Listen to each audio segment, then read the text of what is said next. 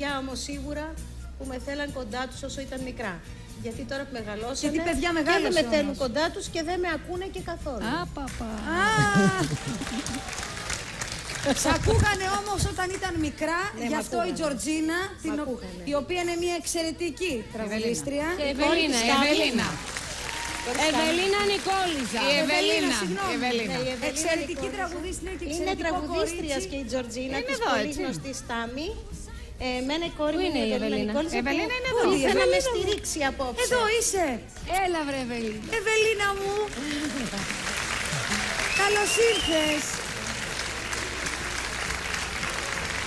Εξαιρετικό κορίτσι και εξαιρετική Πολύ φωνή. γλυκό κορίτσι, γιατί έτυχε και εγώ να την γνωρίσω το καλοκαίρι πραγματικά. Καταπληκτική.